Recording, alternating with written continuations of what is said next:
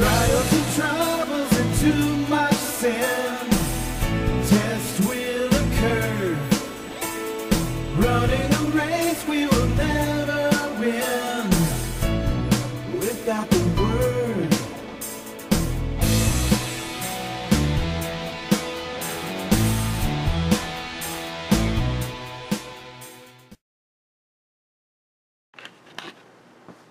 Good morning, good day, good evening, good night, or whenever you're listening to this. Welcome once again to Just Thoughts. Gods of this world, that's what we're going to be talking about today. I realize it's been a little while since I have turned out a Bible study or a Bible lecture, but I have had a bunch of events going on in my personal life, and uh, I have been busy working and trying to promote my book, The Iconic Time Box, and trying to release the sequel to The Iconic Time Box called um, The Quest for Pandora 5. So life got real busy real fast and things kind of got out of control, so I haven't had as much time and hopefully pretty soon I'm going to be able to rectify that and get back to teaching our Father's Word uh, on a more weekly basis or as soon as I can turn the lectures out anyway. But today, again, we're going to be talking about the gods of this world. Even from the beginning of the Word of God, we have read of how Satan deceived Eve by offering her something he had no real power to give. All Satan actually did was to convince Eve, and by extension Adam, to disobey God in order that they might please their own fleshly desires, or their desires to be something more than they were. This is the way Satan works. This is his method of opera, uh, operation, his modus operandi. Satan always offers things, which we could call Satan's bargains, to all who will give him ear. And sadly, nowadays in the world, there are many who seem to be of the same mindset as Satan, and they offer mankind lies and deceit, and push for things which God has forbidden, and make promises of bigger and better and something for nothing. In essence, they propagate the idea that God and His Word are of no importance, while they bend over backwards to please the wiles of mankind's fleshly desires. Today we see men in grand positions of power offering mankind everything they want, giving them handouts, entitlements, status, and all that they give is given as bribes for votes so that they can attain to more power and more control. Indeed, even the very freedoms that we enjoy are being taken away from us in barter for the promises that they give of bigger and better and more things for free. Yet their promises are as hollow and as empty as a paper bag filled with air. Even so, people are still lining up to sell away their liberties and moreover their souls for the promise of something for nothing. In the Old Testament, we are given the history of the Promised Land and the children of Israel. We are shown literally how God feels about men worshiping things made of men's hands and calling those things God. And in reading these things, in turn, we learn by example through metaphor that a God can be anything that is put before God the Father and our Creator. In other words, anything that is put before God Almighty becomes a God to man. Because that is what they bow down to in, in the manner of speaking. In other words, it's what they devote all their time to. It doesn't matter whether it's their job or wealth or power or uh, any number of things. Anything that you put before God becomes your God.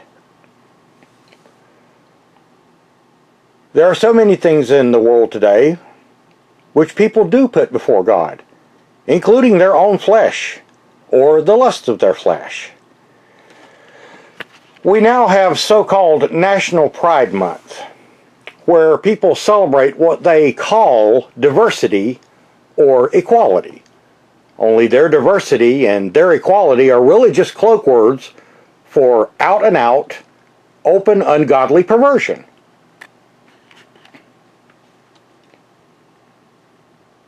You know, we've give, been given examples of this before.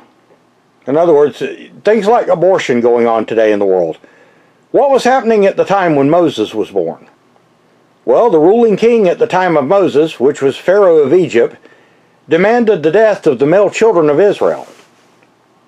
Why? He wanted to stop this so called uh, Redeemer that was coming. And in like manner, when Christ was born, the ruling king of that time demanded the death of all the male children. In other words, Herod. Today, politicians demand the death of unborn children and call it the right to choose. And when I say demanded, it's not that they go out and chant, let's kill all the unborn children, but in their laws, in their lobbying, in their advocacy, they push for the death of the unborn. It puts me in mind of something I saw once uh, recently at a local lake. And this is part of nature and just the way it is. But a mother duck had a bunch of baby ducklings following her around. And in an instant, a tall bird, which usually waited peacefully at the edge of the lake, sprang upon the baby ducks and grabbed one of the baby ducks up and took the little bird off and proceeded to kill it and eat it. Now, some of our politicians today, while they do not per se eat the unborn children, they do lobby and fight to preserve a skewed law which allows doctors to kill the unborn. In doing so, that they, they are showing us that they are no better than an ignorant predator bird which kills and eats newborn fellow waterfowl because it is its brute beast instinct to do so. Only while the bird is innocent of any sin in doing what it does, the politicians who preach this chaos and shedding of blood are most certainly not. But then again, they also preach many things that are against our Father's Word homosexuality, lesbianism, transgenderism, in some cases now even pedophilia. And they do this as they seek votes so they can grasp ever more power, so that they can have ever more possessions. In other words, they seek after earthly wealth and fame. Some of them are even worshippers of false deities. In other words, they're Satanists or Luciferians. Others follow the more secular uh, view of religion. And all of them continually convolute history. They're continually rewriting history and erasing parts of history. They seem blissfully unaware that these things they are doing and these things that they are following and bowing down to are likened to the gods of the Old Testament. In other words, the gods of this world, things made of man's hands. Because they consist consistently lift these things up above God Almighty in His Word and His law. As surely as Satan, in his pride, raised himself up to try and overthrow God. The people of this modern generation, which is to say the fig tree generation, are raising their perverse toxon rainbow flags and waving them in the very face of God in their pride.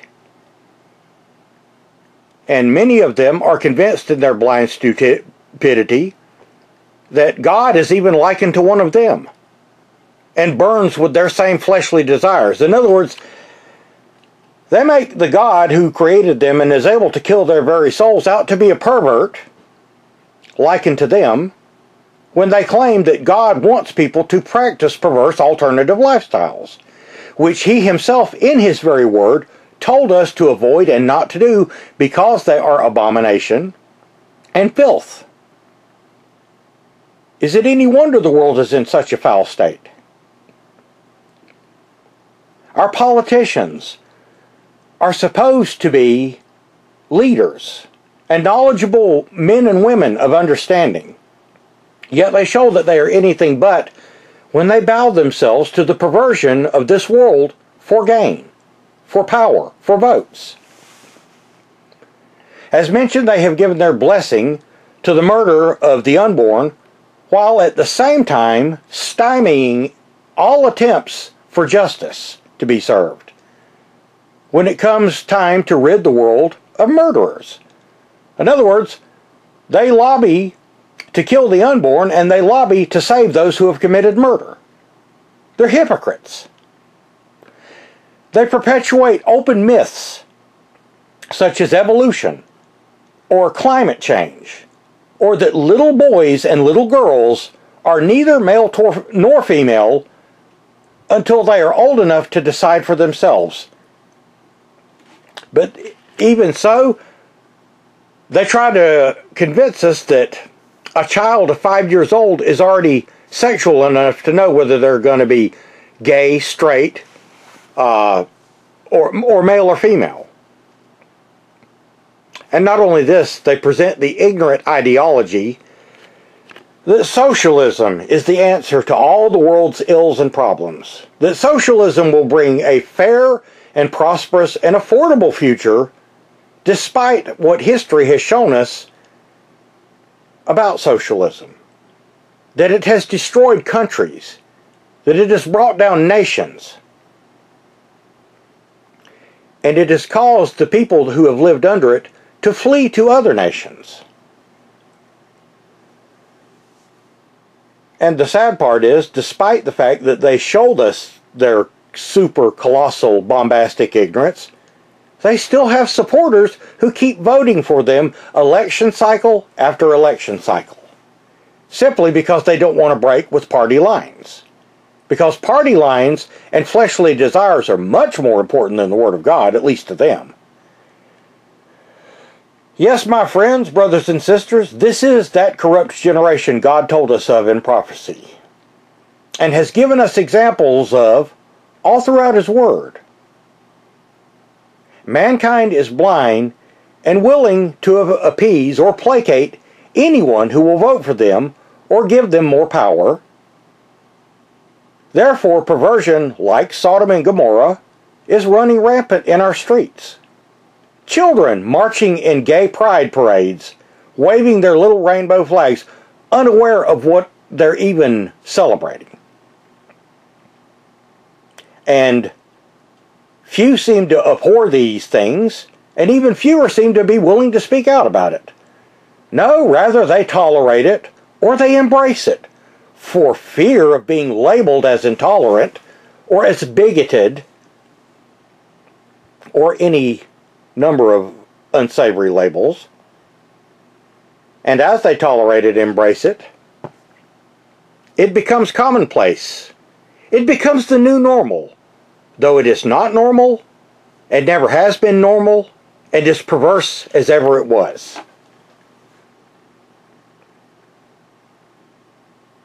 These who lobby and advocate and preach this show that they have no fear of God nor reverence for God, nor do they care of His Word, but rather they are respecters of men's personage. And panderers who place the lusts of the flesh above the glory of Almighty God. And this is a cycle which keeps repeating itself. Men and women now rise to power on lies and deceit and handouts and promises. Promises of bigger and better. Promises of freebies. And they push socialism, and they push these perverse things, and they don't even bother to hide it.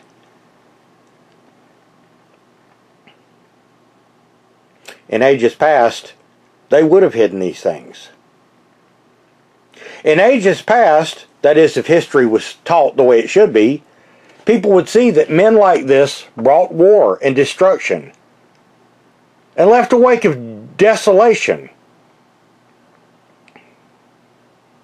Yet, even though these things are recorded as history, within a generation or two, everyone forgot the bloodshed. Everyone forgot the torture. Everyone forgot the oppression. Everyone forgot the open bias and inequality that was done and dove right back into the same snare and celebrated as though it was something wonderful and to be revered. And I'm speaking, of course, of communism, socialism, sexual deviance, woefully unfair treatment of peoples and injustice, the raping of justice, quite frankly, which are now being embraced and have been being em- embraced by counterculture skulls full of numbed brain cells, which place the flesh before God and have no consideration for the want or the will of God who created them, in part because they haven't learned God or they don't believe in God. No, rather, they would rather be respecters of persons and perverse lifestyles. They are liberty haters and politicians who are partial to the ungodly. And they are raised up to power for favors and for bribes. And as mentioned before, they no longer even bother to hide their agenda. They're out in the open now. They're either too blind or ignorant to see it. It is my belief that most of the souls which stood against God at the katabole, or uh, in the earth age that was, have been and are now being born into this current earth age. And like as they were there, in other words, rebellious, so they are here in this earth age. They're rebellious and they're lovers of the things which God hates. They're lovers of the flesh. They are brute beasts. This is how people like Nancy Pelosi or Alexandra Ocasio Cortez or Hillary Clinton or Charles Schumer or Harry Reid or Maxine Waters or many, many, many others come to their power. And if you think they govern well, just look at the states where they came from. Look at the big cities in the states where they come from. They are bastions of crime and perversion. But then again, on the other side of the aisle, what do we have? Well, amongst the so called conservatives, quote unquote, there is silence and toleration and acceptance for fear of speaking out and offending potential voters if they do speak out. In short, the whole earth is being turned upside down. Right is being made out to be wrong. Wrong is being made out to be right. Injustice is ruling the day. Yet, this is what must come to pass. You see, you cannot have a new world order without first ridding the world of the old order. All that was right and good is now being turned backwards. Righteous judgment has failed as people lobby and advocate for their own bondage and for the wrath of God to overtake them. Yet they say, we are tolerant. We are morally superior. Some even think themselves morally superior to God. They claim they are only fighting for freedom, when in fact, they are destroying freedom with every action, every law, and virtually everything they support. And for those who do not support their brand of equality and tolerance and so called freedom, they spew venom and hateful words, which convince the young, easily swayed, and the weak minded that they in fact are right. These things would not have been tolerated 50 years ago or even 40 years ago. But you see, that's how these people operate. Slow and methodically, an inch at a time, but eventually an inch becomes a foot, and a foot becomes a yard, and a yard eventually, when laid down, enough of them, becomes a mile. Again, they make things which are perverse the new normal. But it's no less perverse than it's ever been. And God is just as filled with anger and righteous indignation about these things as he has ever been. And one day they will come to regret it. We're going to be talking about this today as we go into some Bible study here. Be turning, if you will, to Exodus chapter 23, the book of Exodus chapter 23, the second book of Moses.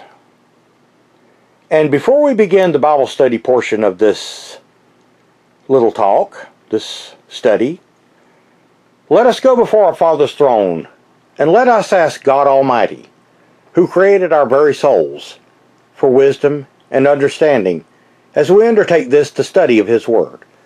So let us pray and let us pray together. Our Father, who art in heaven, glory unto thy most holy name, Father. We come before you this day to ask you, O Heavenly Father, Creator of the universe and all that is therein, for wisdom and guidance and understanding of these your most holy scriptures, Father. We ask you to open eyes and ears and hearts and minds to these truths, Father. We ask you to lead us and guide us, to shine the light for us to follow, that we may not fall off to deception as so many in the world do. And we ask these things of you, Father, in the name of our Lord and Savior, Jesus Christ, Yahushua HaMashiach. Amen. So, Exodus chapter 23, again, this will be Moses, the prophet of God, the redeemer of the children of Israel in the Old Testament, who brought them out of bondage with the power of God, giving God's thoughts to the children of Israel about things that they should not do. So, Exodus chapter 23 and verse 1. Thou shalt not raise a false report. Put not thine hand with the wicked to be an unrighteous witness. This, of course, means do not bear false witness. But what do men do when they turn their backs to truth and forward agendas or lies which go wholly against the Word of God as they practice their flesh pleasing? Is that not raising a false report? Is that not bearing a false witness? Because they put out, perpetuate all of these myths and put before us. You know, they tell us what is normal. Uh, they think human beings are too stupid to think for themselves, and in large part, by and large, it seems like they are. But then again, they've been being dumbed down for generations by educators, by college professors, and in some cases by their friends. Verse 2 Thou shalt not follow a multitude to do evil, neither shalt thou speak in a cause to decline after many to wrest judgment. That wrest there is written that way on purpose, it's to wrestle with judgment. You see, multitudes often live by mob rules mentality. We see this a lot at the border. We see it every time there's a riot. When enough people get together and say, we are right, then they begin to throw stones and injure people and to live like animals. And that's exactly what you've got going on here. Though they are not the actual majority that they claim, in today's world, with the media garnering sympathy for their causes and highlighting them and putting them on a pedestal above everyone else, most people think they are the majority and the new normal. And because of that, the righteous are the ones who now have to take second seat to the perversion of this world. Verse 3 Neither shall thou take countenance, uh, excuse me, verse 3 Neither shall thou countenance a poor man in his cause. Okay, what does this mean? Now, we know that God loves the poor. Okay? We know that God loves the poor. So then what is this verse trying to tell us? Well, it's quite literally saying you're not going to help out a person who is poor by choice. In other words, the only way you can help out a person who is poor by choice is to let them suffer so that they get out and get employed or get out and find something to do where they can make their way. But what this means is you will not lend your help or support to a poor man who is attempting to get something for nothing. And that is exactly what our politicians are doing today. In other words, do not feel sorry for a lazy whiner. Reparations, my ass. Verse 4 If thou meet thy enemy's ox, or his ass going astray, thou shalt surely bring it back to him again. In other words, if you have someone who is an enemy, and you see his animal get loose, then you will take it back to him. Why? What, what good does that do? Well, then the man might not be your enemy anymore, or the woman. They might not be your enemy anymore. This is doing what is right. It's when you see um, something that can be prevented, you do something about it rather than seething and hating your enemy so bad that you just let his ox or his ass get away. Verse 5 If thou see the ass of him that hateth thee lying under his burden, and thou wouldest forbear to help him, thou shalt surely help with him. In other words, if you see a person's donkey, that's what an ass here is, a burro or whatever you, lying under his burden, in other words, he's been too heavily burdened and he's trapped underneath or what have you, bogged down in the mud, you could say, and normally you would forbear to help him, you shall surely help with him. Uh, this is not talk. The second hymn is not talking about the uh, the ass. It's talking about your neighbor that uh, that you hate or that you don't get along with. Again, this mends fences. This causes your neighbor that hates you to become a good neighbor that will watch out for you. Verse 6 Thou shalt not wrest the judgment of thy poor in his cause. Okay, now this is the opposite of what we heard a while ago concerning the poor. This means do not deny justice or forbear to help the poor which are in righteous pursuit of help. In other words, who aren't looking for a handout, who aren't looking for you to give them something for nothing. Verse 7 Keep thee afar, or keep thee far from a false matter. In other words, what's a false matter? It's a lie. And the innocent and righteous slay thou not, for I will not justify the wicked. Now this says the innocent slay not. Tell me, is a baby in their mother's womb innocent? Well, yes, they are. They're born innocent into this earth age. In other words, don't join in with those that are pushing a false matter. In other words, just because man has decided that it's a choice to uh, kill an unborn baby, that doesn't mean it's right. That doesn't mean it's not a sin. Verse 8. And thou shalt take no gift. The, a gift is a bribe. Okay? Thou shalt take no bribe. For the bribe, that is to say, gift, bindeth the wise, and perverteth the words of the righteous. This is why the leftists in our nation will never admit they are wrong, even when confronted with their own words from yesteryear, which prove them to be hypocrites. In other words, they took a stance on a position years ago, and now they're the complete opposite of it. Why? Because it is politically correct to do so. And we see this over and over again on YouTube where politicians are caught up in their own words. People like Bill Clinton, Hillary Clinton, Harry Reid, Chuck Schumer, the same lot that we talked about, even Barack Obama, and so many others, and even on the conservative side of the aisle. People get up and say one thing one year, and then five years later, they figure everyone's forgotten about it, and they say something totally different. Because attitudes change, and they change with it. They're as a reed shaken in the wind. Verse 9. Also, thou shalt not oppress a stranger, for ye know the heart of a stranger, seeing ye were strangers in the heart of the land of Egypt. Now, a lot of people would try to use this verse to, to justify the poor illegals coming from other countries trying to get into this country. The only problem is, this does not have anything to do with people crossing the border into the country. Are you supposed to be kind to a stranger? Yes, you're supposed to be kind to them.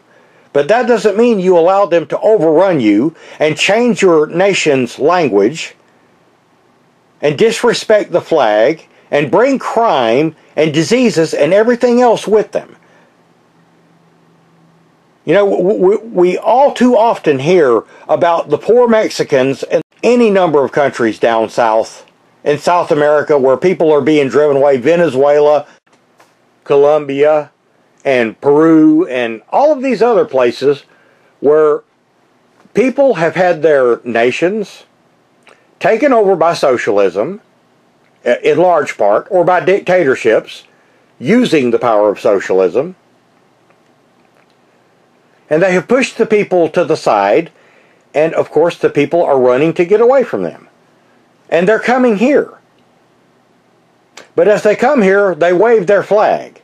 In other words, they don't come into this country and learn our language and obey our laws, but they come here and they are allowed to vote, and they're given handouts, and they're given entitlements, all to buy their votes. And of course, they're going to vote for the party that kisses their ass. You know, I'm sorry, but that's just the way it is. However, what this verse really means is put no burden on a stranger in your land to make his life harder. Okay? That doesn't mean allow an influx of thousands of people to come across your borders illegally and bring in drugs and, like I said, come in here with diseases and everything else. You know, America has borders and walls for a reason. And that reason is, of course, to keep us safe from those who would come here, who do not know our laws, who do not understand our laws, who do not know our language, who will not learn our language. Yet we've got politicians who are willing to do them a pleasure and pander to them and kiss their asses in order to get votes. And many of them come here and do crime and get away with it scot free. And we've seen it time and time and time again verse 10. And six years shalt thou sow in thy land, and thou shalt gather the fruits thereof. Okay, there's a deeper spiritual connotation to this. Um, six, of course, being the uh, sixth trump when, when Satan appears, and of course, the seventh is what we're going to learn in the next verse is the sabbatical year. It means the year of rest. And Christ is our rest. He comes at the seventh trump. Verse 11. But the seventh year thou shalt let the land rest and lie still. This is what they call a sabbatical year. This is when you let the land rest, and people who practice crop rotation know what this means. It means to let the land rest so it could refurbish itself. That the poor of thy people may eat, and what they leave, the beasts of the field shall eat. In like manner, thou shalt deal with thy vineyard and with thy olive yard. In other words, all facets of things that are grown, you let the land rest. Again, it's called a sabbatical year. Verse 12 Six days shall thou do thy work, and on the seventh thou shalt rest. Again, this is the Sabbath. That thine ox and thine ass may rest, and the son of thy handmaid and stranger may be refreshed. In other words, everybody needs a day off to refresh themselves. This, of course, is speaking of the Sabbath. Verse 13. And in all things that I have said unto you, be circumspect. That means to, to be vigilant, to take notice of, to keep in your minds. And make no mention of the name of other gods. You see that's lowercase g? Neither let it be heard out of thy mouth. In other words, don't bless another God. Don't worship another God. And again, anything that you put before God Almighty, whether it's wealth, power, the lust of the flesh, or what have you, becomes a God to you. This comes down to flesh pleasing, perverse agenda. Or a form of government which is brutal and unfair. Or possessions and wealth and power. Now, does this mean if you have possessions you're wicked? No. Everyone has possessions, but if you put the possessions before God, in other words, if you've got a brand new Corvette and you put that before God and you spend all your time waxing that Corvette and you don't take any time to read your Father's Word or understand His Word, guess what? You're not going to have His blessings. And you're probably going to fall and bow and worship the false one. Any of these things which are coveted become a god unto those who serve them. So if you covet homosexuality, which is against the word of God, then you're living in a delusion that is bad as those who lived in Sodom and Gomorrah. The same with lesbianism, transgenderism, pedophilia. The same with forms of government which are oppressive, like communism and socialism. They're not the answer. People think, oh, democratic socialism is going to be different. No, socialism has but one goal, and that is communism. Socialism and communism remove the freedoms that man have. They remove the right to worship as you see fit. They take your money and give it to others.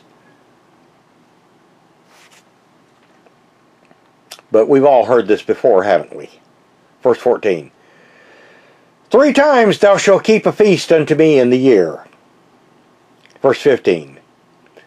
Thou shalt keep the feast of unleavened bread. Thou shalt eat unleavened bread seven days as I have commanded thee, in the time of the appointed of or in the time appointed of the month of Abib or Aviv. In other words, that's the first month. We're talking about the Passover there. For in it thou camest out of Egypt and none shall appear before me empty. In other words, when you go before God, give him his portion. Don't show up in front of God empty handed. And what is it that we give God today? What is God's portion that we give him today? His reverence, our unrequited love. Verse 16. And the feast of harvest, which is the feast of weeks, the first fruits of thy labors which thou hast sown in the field, and the feast of the ingathering, which is in the end of the year, when thou hast gathered in thy labors out of the field. You know, these last two verses, which we have read concerning these feasts, concern our Lord and Savior Jesus Christ. Yet they were written long before his birth, because Christ is our Passover. And Christ is the first fruit, the first fruit of the harvest, and the ingathering. It means you are to keep these days. In other words, you will not only observe these days, but you will keep them holy. Holy unto God. Verse 17.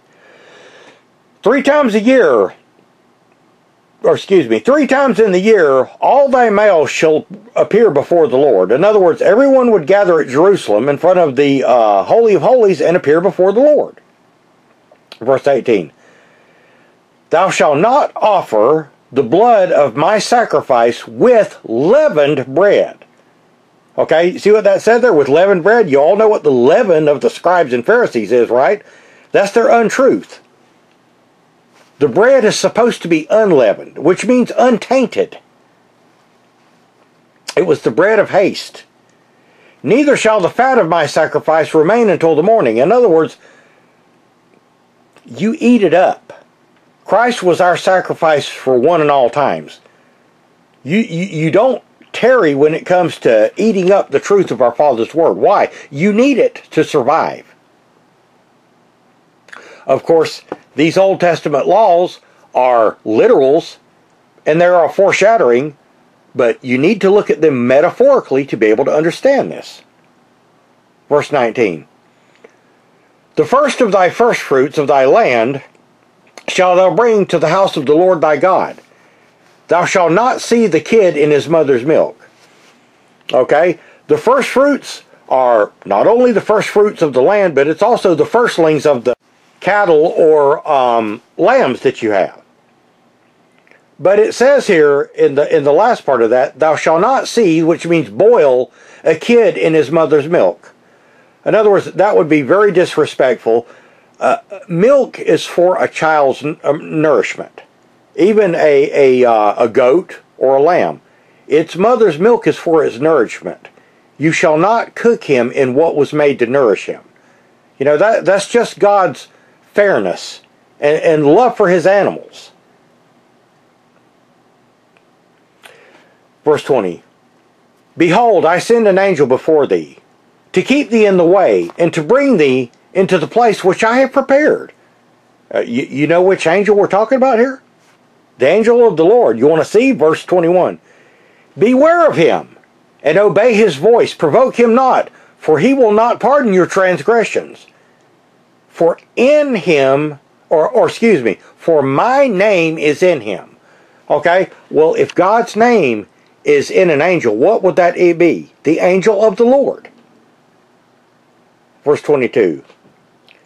But if thou shalt indeed obey his voice, and do all that I speak, then I will be an enemy unto thine enemies, and an adversary unto thine adversaries. And this would include the Kenites, and or Satan, or the demons of this world, the locust army, or anything that would offend, anything that would stand against God and try to, and seek to do you harm.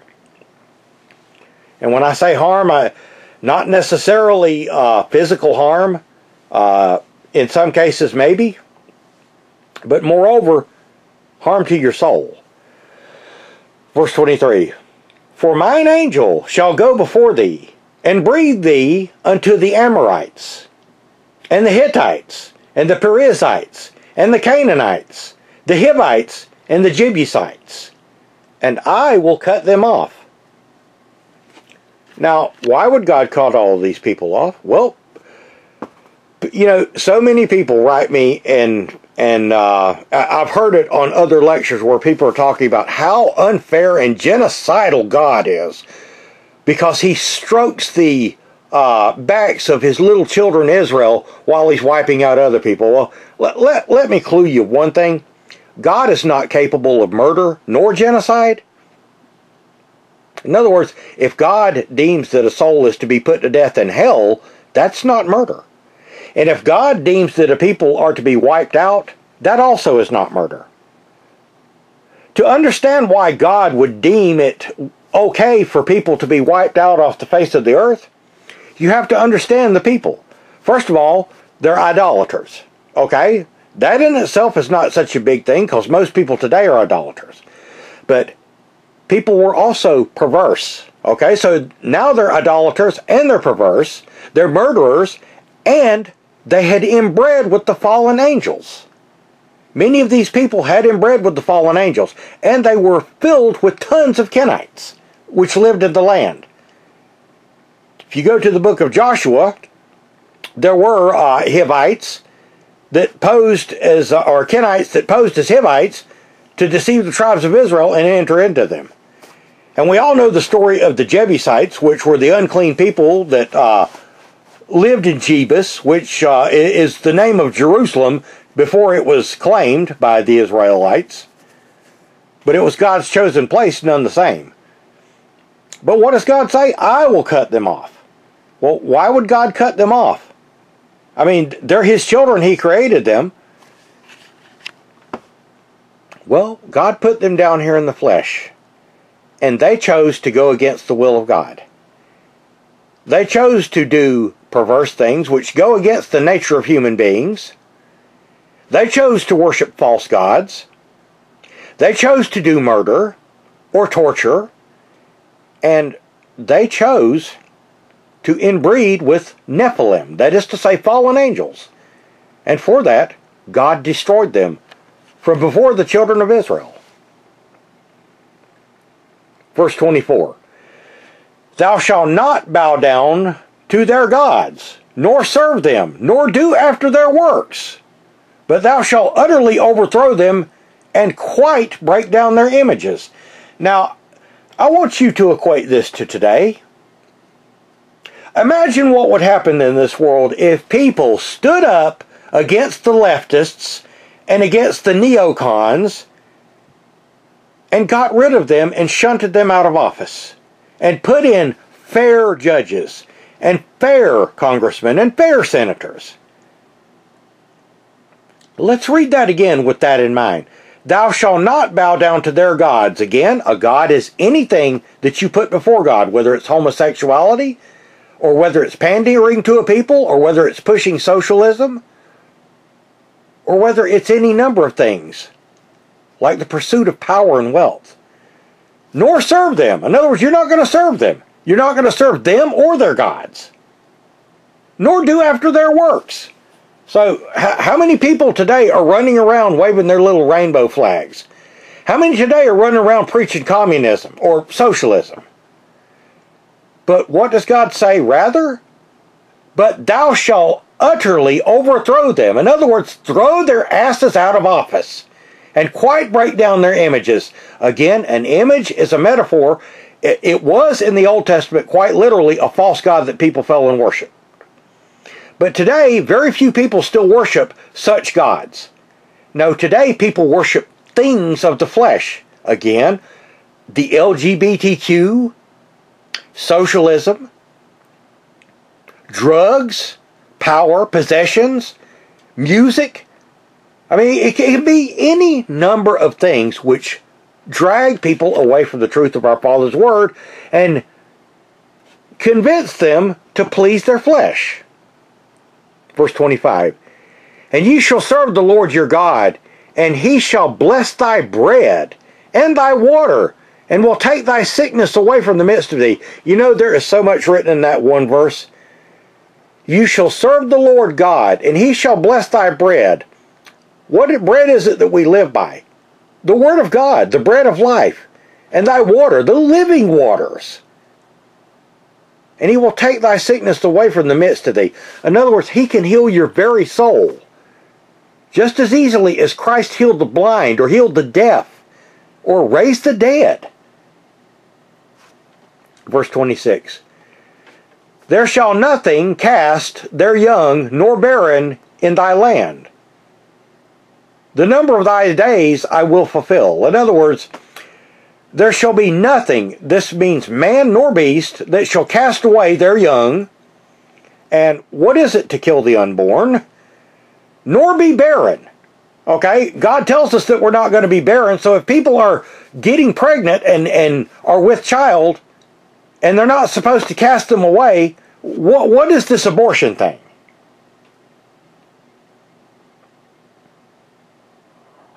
In other words, you don't let these things happen in your land and the number of your days God will fulfill. The qualifier there is if you serve God and reference Him alone rather than to back these that push for abortion and all of these other perverse things which are offered by the left. Verse 27 I will send my fear before thee, and will destroy all the people to whom thou shalt come, and I will make all thine enemies turn their backs unto thee. In other words, running in fear away from you. But that's not what's happening today. No, now the asylum is being overtaken by the inmates. The idiots are running things. Verse 28 And I will send hornets before thee, which shall drive out the Hivite, the Canaanite, and the Hittite from before thee. In other words, God can use nature. You see, all of these people God did cast out from the Holy Land, the land of Canaan, which became called Palestine or Judea. because they were perverse. They were idolaters. They had inbred with fallen angels. They killed and tortured and maimed. They did perverse things which God did not savor or appreciate, but rather that he hated. And they worshiped false gods as God. And in the end times, thus shall it be again. Verse 29 I will not drive them out from before ye in one year, lest the land become desolate, and the beasts of the field multiply against thee. In other words, if he'd driven all the people out of the land, then the beasts of the field would have multiplied. This a number of animals which were uh, would have been uncontrollable, foxes, and uh, no no doubt many predatory animals, as well as cattle, oxen, uh, what have you, that could have trampled people to death. A number of things. But in other words, what God is saying is, I'm not going to do this all at once. And why, what was another reason that God didn't do this all at once? Because he expected the children of Israel to go and do as he instructed them. Yet he walked with them. Verse 30. By little and little I will drive them out from before thee, until thou be increased and inherit the land. You know, you know what, I'll come to that point next. Verse 31. And I will set thy bounds from the Red Sea even unto the sea of the Philistines, and from the desert unto the river. For I will deliver the inhabitants of the land into your hand, and thou shalt drive them out from before thee. Verse 32. Thou shalt make no covenant with them, nor with their gods, lowercase g. This means do not fall for their lies and worship the false things which they call God. And as I have said already so many times in this very lecture, anything you put before God becomes a God to you because you serve it and not God. You see, our Father's Word says, Man shall not lie with man as woman. That is homosexuality. And we have so many people today. I mean, we've got a month in this nation now called Pride Month, which is celebrated in every state, where children march alongside of floats with men mimicking sexual acts on each other. And wearing large phallus costumes and large uh, va- vaginal costumes. And if you think that doesn't make God's very soul boil, and that his wrath is not going to be full when he comes, you got another thing coming, friend. Verse 33 They shall not dwell in thy land, lest they make thee sin against me. For if thou serve their gods, it will surely be a snare which is a trap unto thee. Now, I want you to think that over again in modern terms.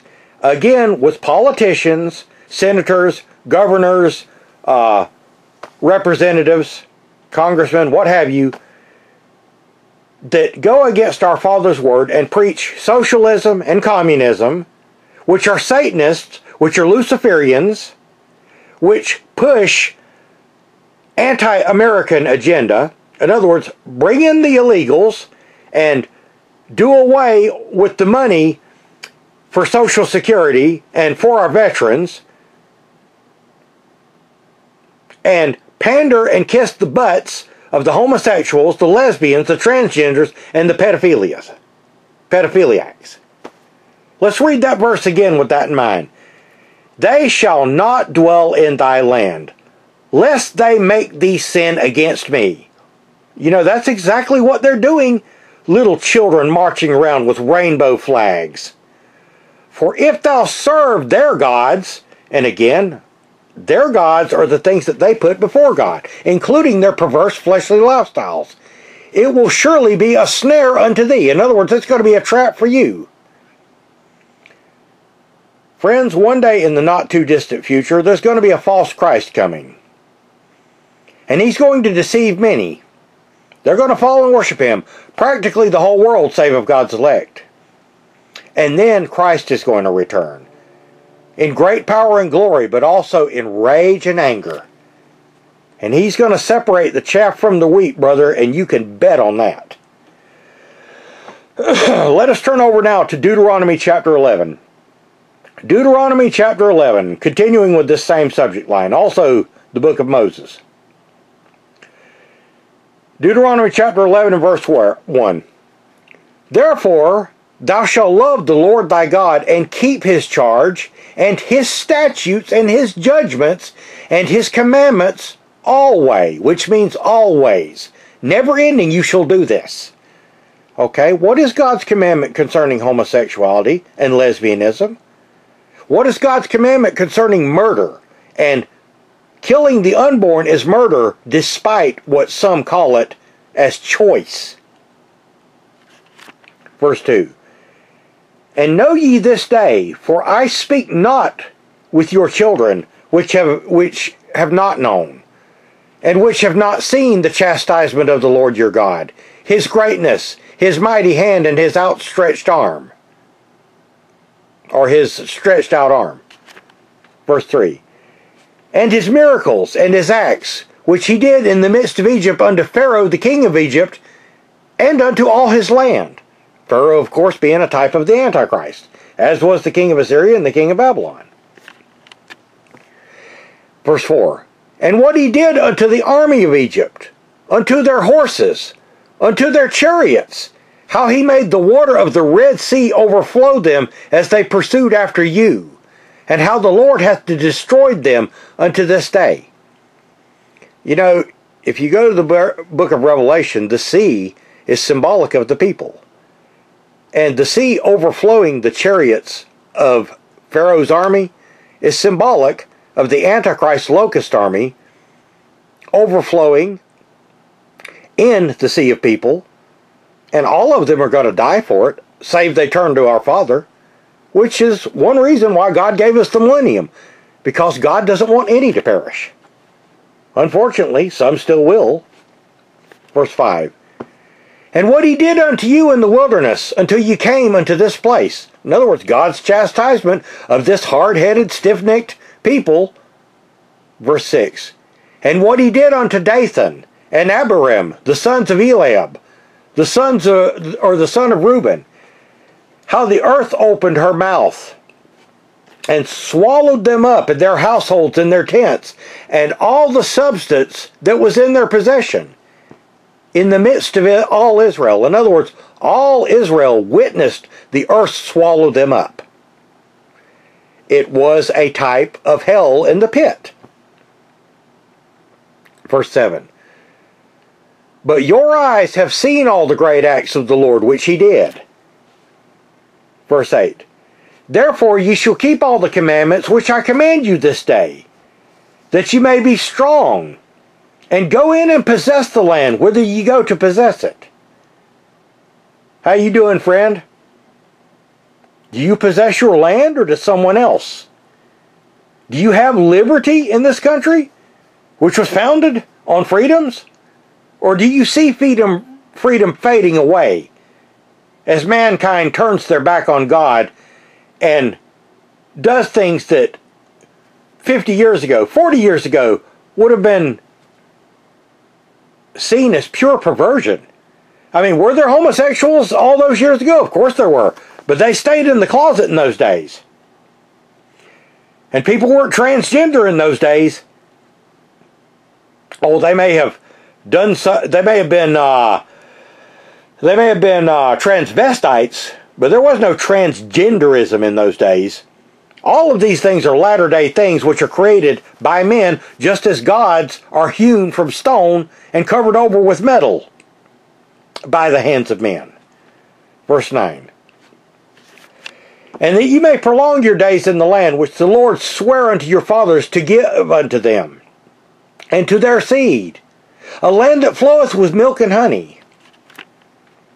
Was God's promise. Verse 10 For the land whither thou goest to possess it is not as the land of Egypt from whence ye came out, where thou sowest thy seed, and waterest with thy foot, as a garden of herbs. In other words, everything was growing in abundance in the Holy Land. You didn't have to plant the seeds there. And you didn't have to take water by foot and pour it onto the plants there. Why? Because it was watered by the former and the latter rain and by the dew of the morning. Why? It's God's favorite place on earth. But that extends into many great nations nowadays with the migrations of the children of Israel. Verse 11. But the land whither ye go to to possess it is a land of hills and valleys, and drinketh water of the rain of heaven. In other words, that's, that's the blessings from God. Verse 12. A land which the Lord thy God careth for, and the eyes of the Lord thy God are always upon it, from the beginning of the year even unto the end of the year. Verse 13. And it shall come to pass, if ye hearken diligently, that means if you listen closely unto my commandments, which I command you this day, to love the Lord your God, and to serve him with all your heart and with all your soul. Verse 14. That I will give you the rain of your land in his due season, the first rain and the latter rain, that thou mayest gather in thy corn, thy wine, and thine oil. Again, there's a spiritual connotation to this. The living waters and plenty to eat. In other words, to feed your soul. The truth to feed your soul. Verse 15. And I will send grass in thy fields for thy cattle, that thou mayest eat and be full. Verse 16. Take heed to yourselves, that your heart be not deceived, and that ye turn aside and serve other gods, and worship them. Now remember, I'm going to keep saying this because repetitive speech is one of the greatest ways for people to learn. Anything that is put before God becomes a God. I don't care if it's your homosexual alternative lifestyle, your lesbian alternative lifestyle, your uh, pedophilia lifestyle, your transgender lifestyle, your socialism lifestyle, your socialist agenda, your communist agenda, or whether you're a Luciferian or a Satanist, or whether you worship some of the other gods of this world, Eastern mysticism, or Wicca, or, or, or whatever, or whether you just seek after possessions, or money, or wealth, or power, or whether it's fleshly, whether it's sexual, it doesn't matter. All these things become a God to you when you spend all of your time chasing after them and serving them and not God. A servant cannot serve two masters. You have to bridle your flesh or be a victim of it. Verse 17. And when the Lord's wrath be kindled against you, and he shut up the heaven, that there be no rain, and that the land yield not her fruit, lest ye perish quickly from off the good land which the Lord giveth you. Verse 18 Therefore ye shall lay up these my words in your heart and in your soul, and bind them for a sign upon your hand, that they may be on the uh, be as the frontlets between your eyes. Okay, you know we see this terminology all throughout the Bible. You've got the hand in between your eyes. What's between your eyes? Well, you could say your nose, but really this is talking about your forehead. This is where you receive the mark of the beast, or quite frankly, the mark of the flesh, which is tantamount to the mark of the beast, or you receive the seal of God. In other words, when these things come upon you, then bind these things up in your heart and in your soul and bind them to you for a sign upon your hand. In other words, learn and know the truth. Study your Father's Word and know His promises. And know what pisses Him off and what is going to earn you His wrath. Verse 19. And ye shall teach them your children, uh, and, and ye shall teach them your children, speaking of them when thou sittest in thine house, and when thou walkest by the way, and when thou liest down, and when thou risest up. In other words, teach your children reverence for God. Teach your children the right things. Because, see, that's what has happened in the last, let's say, 10 generations. People have moved away from God so far till this country now has a large secular population or a large population which esteem God lightly at the very best. Though they may go to churches, they learn false doctrines or they don't believe the Word of God. They're just going to church to make sure that they don't go to hell. They've got that much faith in Christ and in God. They think singing hymns and rolling around flopping on the floor like a fish is the answer. Or doing any number of other th- idiotic things like dancing with snakes and drinking poison. Verse 20. And thou shalt write them upon the doorposts of thine house and upon thy gates. You know, this is the way it should be. The Ten Commandments should be listed or posted at every courthouse and the true meaning of them. But moreover, here, what is the doorpost of your house, which is to say your temple? Well, it's your body and it's your mind. And upon thy gates, in other words, where you come in and go out. The, the, you know, we, there was such a book once called The Vulgate. And it had to do with the mouth, uttering the word of God. It comes from the word of volcano and, and the, the word gate. Verse 21. That your days may be multiplied, and the days of your children in the land which the Lord sware unto your fathers to give to them, as the days of heaven upon the earth. In other words, if you keep God's commandments and you do what he said, verse 22, For if you shall diligently keep all these commandments, which I commanded you, to do them, and to love the Lord your God, and walk in his ways, and to cleave unto him instead of perverse alternative lifestyles or socialistic, communistic, godless, atheistic, scientific lifestyles. Verse 23 Then the Lord will drive out all these nations from before you, and ye shall possess greater nations and mightier than yourselves. In other words, when the children of Israel entered into the promised land, they were a small people against a lot of these nations. And you know, I want you to think about the Europeans that came over here to America and conquered Canada and uh, the uh, American Indian, which is to say the, the Native Americans, and uh, the, the colonies in Africa and Australia and places like that. Everywhere the children of Israel have migrated to. You see, history has been convoluted to us to make everyone out to be a victim but the Christian, white, Protestant, Anglo Saxon American.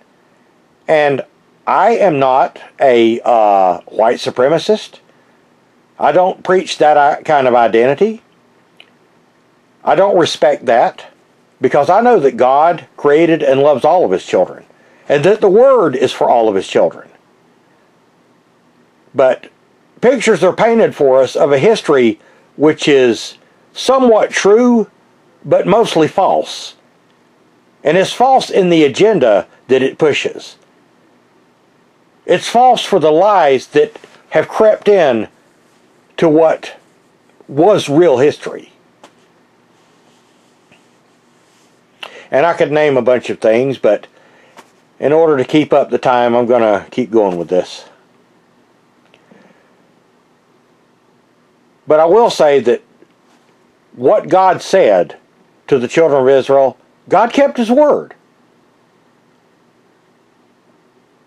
It was not God that breached his word with man, but man that breached his word or his contract with God. And because of that, our world is turned upside down and our freedoms are eroding away from within. Not from without, from within. Verse 24, to continue with the uh, chapter. Every place whereon thou the soles of your feet shall tread shall be yours. Now, who is God talking to there? Israel. Every place wherein the soles of your feet shall tread shall be yours. From the wilderness of Lebanon, from the river, from the river Euphrates, even unto the uttermost sea shall your coasts be, or your coast be. Now, again, we're talking of the Holy Land here historically, but the children of Israel would eventually cross many of these seas and come to other nations. And they sat their sole of their feet on those lands, and those lands became theirs. Now, I'm not saying that they did it in the most wonderful way, but the people, the Gentiles, were driven away. And some of it indeed was unfair, but you've got to realize that the Kenites were also amongst them.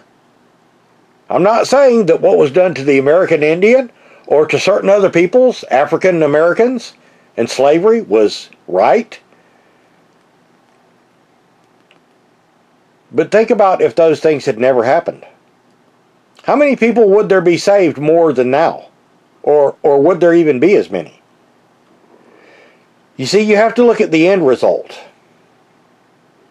And you have to realize the truth that people today will use any argument they can use to try to convolute history into something it was not.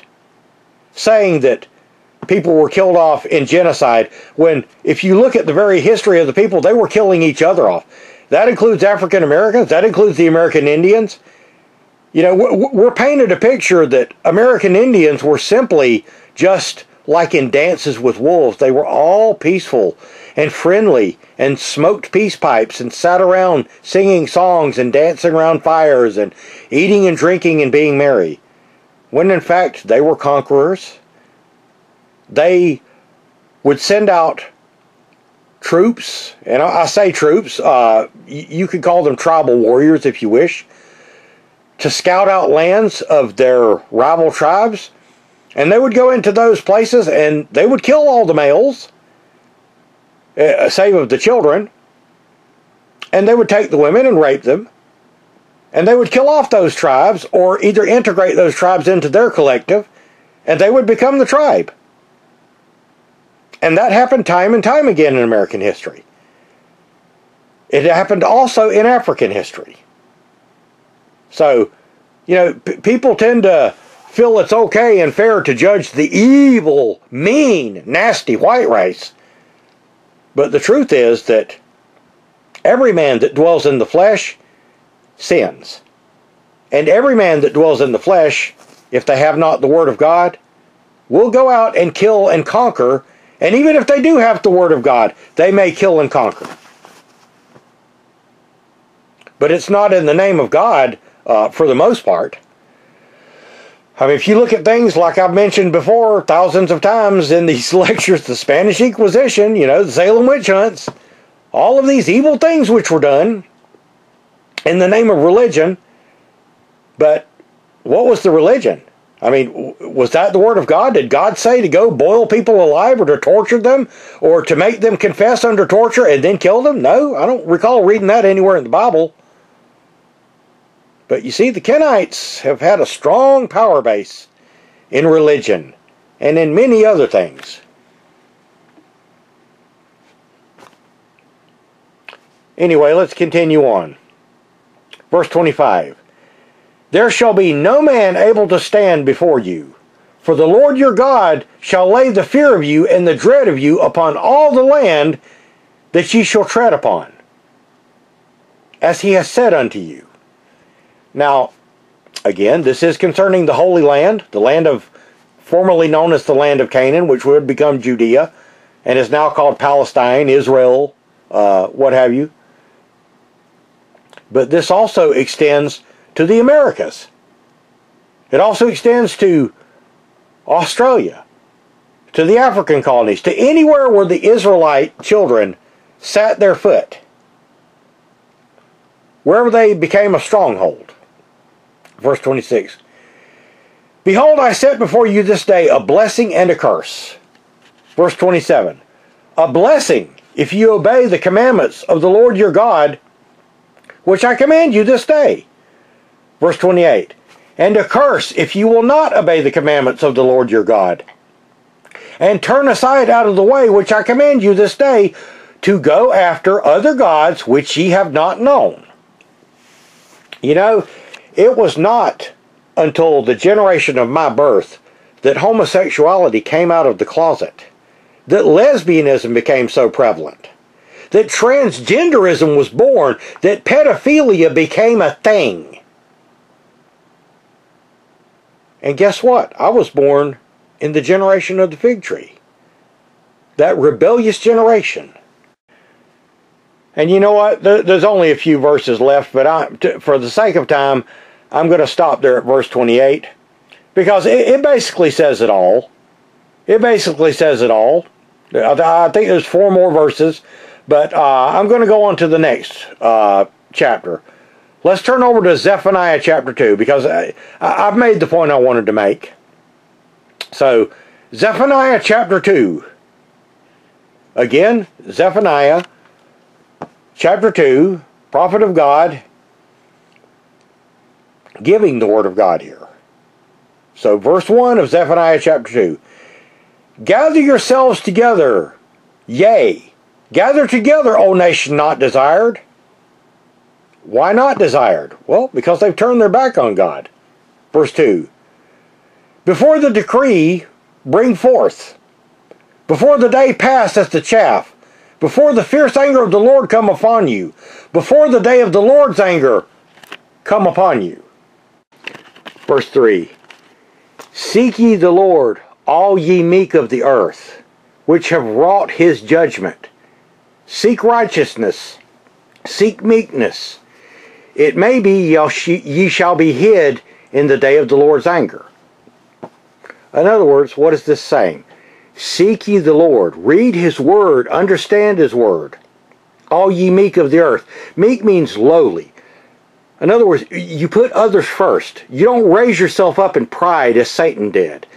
You don't stand up in front of cheering crowds and make wonderful long speeches saying how wonderful the glory of the LGBTQ flag is. You don't speak of socialism because you're a dumb, ignorant young child with a child's mind trying to pass it off as something wonderful, never worrying about what it's going to cost. Seek ye the Lord, all ye meek of the earth, which have wrought his judgment. Wrought means you have worked for his judgment. Seek righteousness. Okay, there's only one righteousness. There aren't two righteousnesses. Okay, if someone says it's wrong to abort an unborn child, that is righteous. If someone says it's a choice to do it, in other words, a choice to commit wanton murder, that's not righteousness, even though they call it righteousness. Seek meekness. In other words, seek that ye be lowly. Now, this doesn't mean you can't work and better yourself with God's blessings. It has nothing to do with that. But it means know your place, that God is above you. It may be that ye shall be hid in the day of the Lord's anger. In other words, hid from his wrath. And you will be. Verse 4 for Gaza shall be forsaken, and Ashkelon a desolation. They shall drive out Ashdod at noonday, and Ekron shall be rooted up. Again, these places were all ungodly. Verse 5 Woe unto the inhabitants of the seacoast, and the nation of the Cherethites. The word of the Lord is against you, O Canaan, the land of the Philistines. I will even destroy thee, and there shall be no inhabitant. In other words, if you think God is happy with Gentile races that worship false gods or other religions, you're sorely misled. Verse 6 And the seacoast shall be dwellings and cottages for shepherds and folds for flocks. In other words, once the God has removed the people from off the land. Verse 7 And the coast shall be for the remnant of the house of Judah. Not the not the false Jews, but Judah. They shall feed thereupon. In the houses of Ashkelon they shall lie down in the evening. For the Lord their God shall visit them and turn away their captivity. You know, that, that is why Christ came, to turn away our captivity from the wiles of this fleshly world and from the God of this world. The God of this world is Satan. Now, why do I say he's the God of this world? When obviously God created this earth. Because Satan is the God of this fleshly world. Satan is the one who offers these bargains, and those of like mind also promise many things which they can never deliver. And they're hypocrites. Verse 8 I have heard the reproach of Moab and the revilings of the children of Ammon, whereby they have reproached my people and magnified themselves against their border. Now, again, this was historical, but Moab means of his father. You got your Kenite uh, uh, connotation there, along with Ammon. You have to look past the children of Lot in the flesh to see these things. In other words, even though Lot's children were Adamic, they were still Gentiles that magnified themselves against Israel, God's chosen people. Verse 9 Therefore, as I live, saith the Lord of hosts, the God of Israel, surely Moab shall be as Sodom, and the children of Ammon as Gomorrah, even the breeding of nettles and salt pits, a perpetual desolation. The residue of my people shall spoil them, and the remnant of my people shall possess them. Now, that's the way it should be. But no, not in today's world where people turn their backs on God. Verse 10 This they, sh- they shall have for their pride. Pride month. Because they have reproached and magnified themselves against the people of the Lord of hosts. You know, if you're a Christian in this world, you know exactly what is going on. Christians are being persecuted. Our laws are being changed to put down Christianity and to raise up all of these things which destroy souls. Verse 11 The Lord will be terrible unto them, for he will famish all the gods of the earth, and men shall worship him, everyone from his place, even all the isles of the heathen, that is to say, the Gentiles. Verse 12 Ye Ethiopians also shall be slain by my sword. Why? They were a Gentile people. Gentile, of course, today means unlearned. We're not talking about naturally just Ethiopian people. We're talking about people that act like Ethiopians in that they are ignorant of our Father's Word. They don't know our Father's promises. They don't study our Father's Word. They are today's modern Gentiles. Verse 13. And he will stretch out his hand against the north and destroy Assyria. You all know the king of Assyria and the type of the king of Syria, Satan, and will make Nineveh a desolation and dry like a wilderness. Dry of what? Dry of the living water. Verse 14. And flocks shall lie down in the midst of her, and the beasts of the nations. Both the cormorant and the bittern shall lodge in the upper lintels of it. Their voice shall sing in the windows. Desolation shall be in the thresholds, for he shall uncover the cedar work. In other words, God's going to destroy it all. Verse 15. This is the rejoicing city that dwelt carelessly. In other words, the rejoicing city that dwelt carelessly. You know what? You've got a type of Babylon in this the rejoicing city. Oh, everything was good times. We had such freedoms, and we were drunken on our freedoms. That said in their heart, I am, then there is none besides me. In other words, I am the most important thing. It's all about me. It's all about me and my selfies and my posts. It's all about the lifestyle I want to live. It's all about my choice to kill my unborn child. It's all about my choice to be a socialist. How is she become a desolation, a place for beasts to lie down in? Everyone that passeth by her shall hiss and wag his hand. In other words, in astonishment. In other words. Let us turn over now to Jeremiah chapter 2. Jeremiah chapter 2. Moreover, the word of the Lord came unto me, saying, Verse 2 Go and cry in the ears of Jerusalem, saying, Thus saith the Lord, I remember thee, the kindness of thy youth, the love of thine espousals, when thou wentest after me in the wilderness, in a land that was not sown. Verse 3 Israel was holiness unto the Lord, the firstfruits of his increase. All that devour him shall offend. Evil shall come upon them, saith the Lord. In other words, anyone that devours Israel shall offend, and evil shall come upon them. Hear ye the word of the Lord, O house of Jacob, and all the families of the house of Israel. That's all twelve tribes. Verse 5 Thus saith the Lord, What iniquity have your fathers found in me, that they are gone afar from me, or far from me, and have walked after vanity, and are become vain?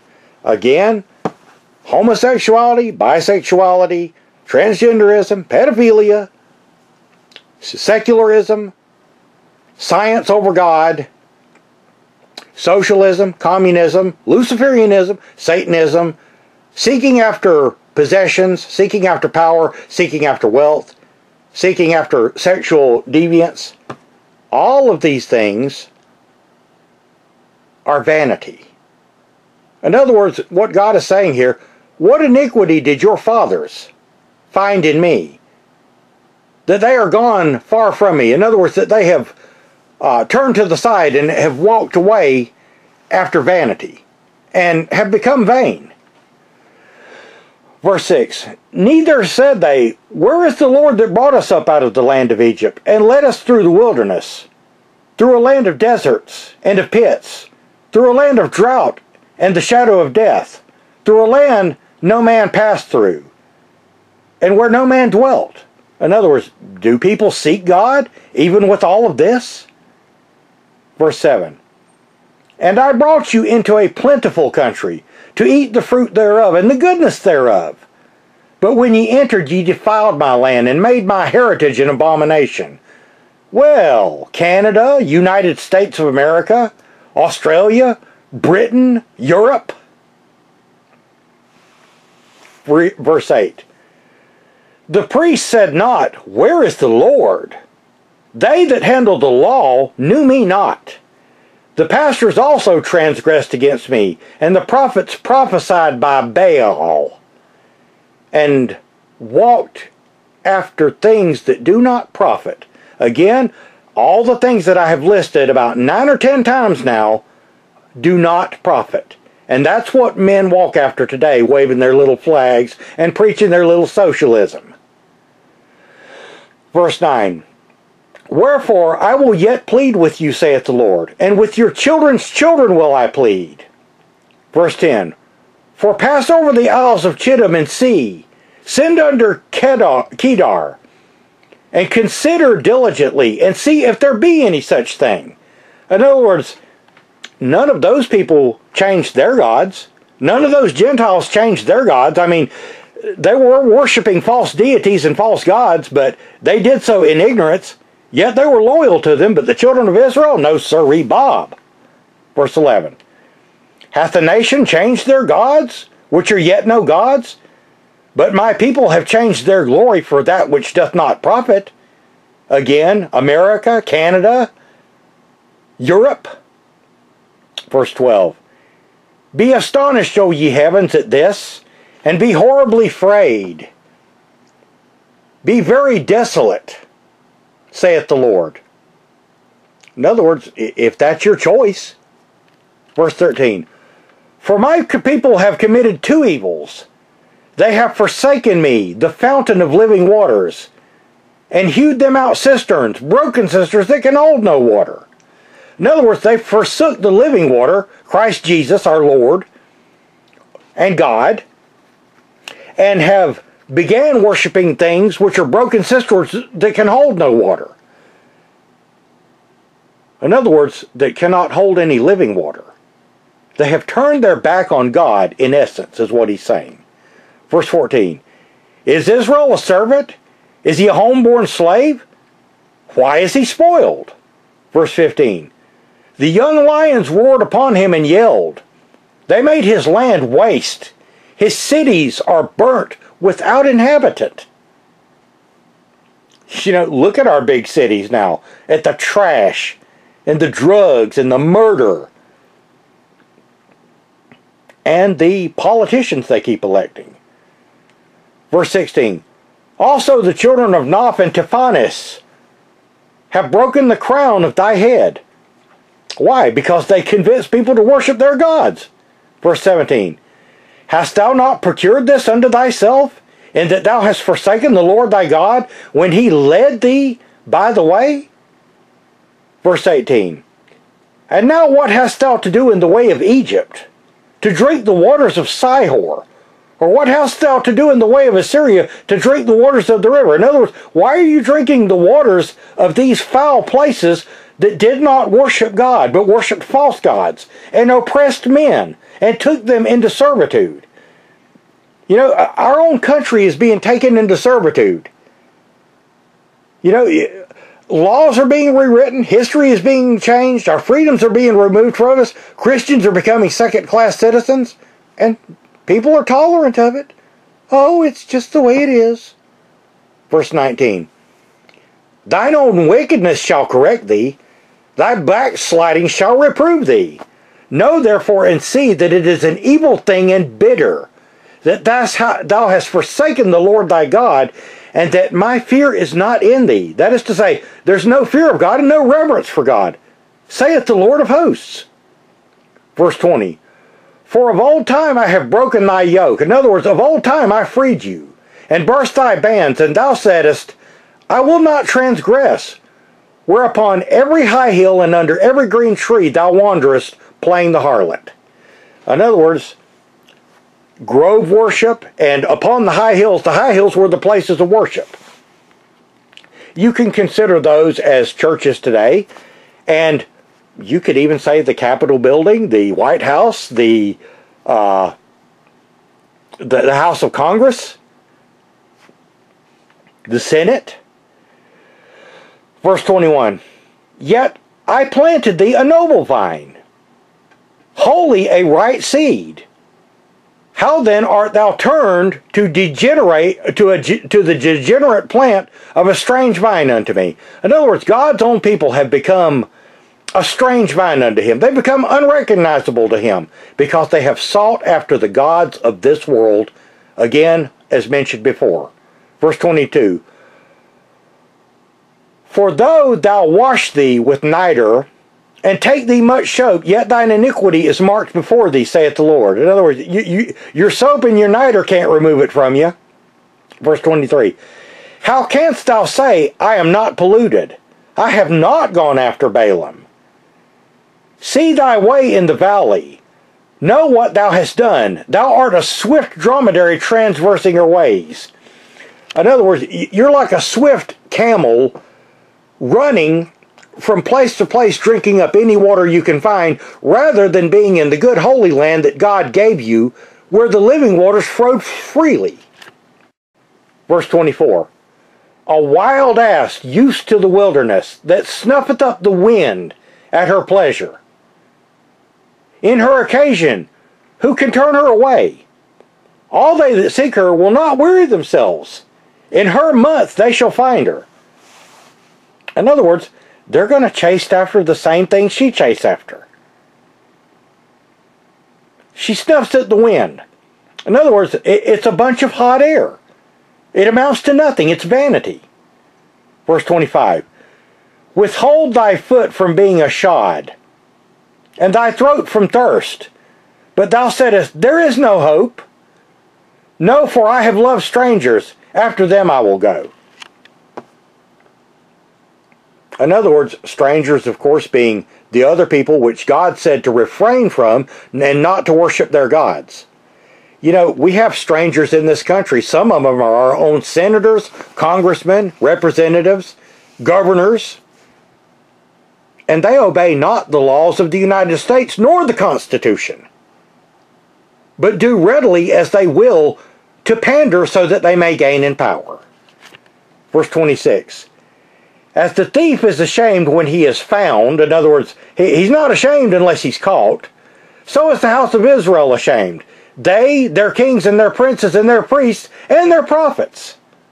In other words, all of them, from the holiest to the to, to the common man. Verse 27. Saying to a stock, we're talking about a stock of wood here, stock, stock of wood, Thou art my father, and to a stone, Thou hast brought me forth. For they have turned their back unto me, and not their face. But in the time of their trouble, they will say, Arise and save us. Yeah, oh brother.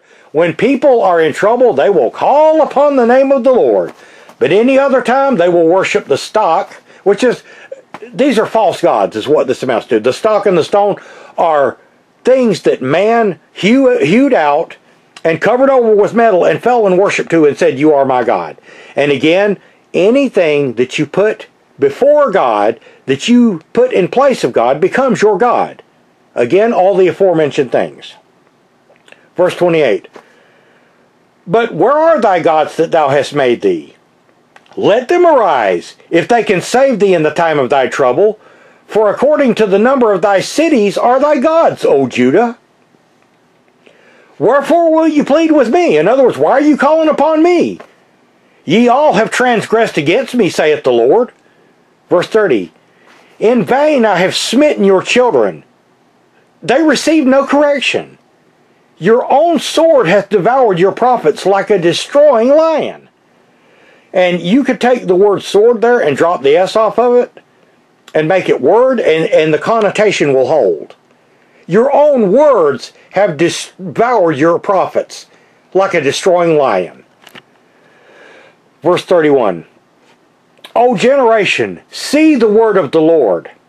Have I been a wilderness unto Israel, a land of darkness? Wherefore my people say, We are lords. We will come no more unto thee. In other words, people raising themselves up the same way that Satan did. Verse 32 Can a maid forget her ornaments, or a bride her attire? Yet my people have forgotten me days without number. Verse 33 Why trimmest thou thy way to seek love? Therefore thou hast also taught the wicked ones thy ways.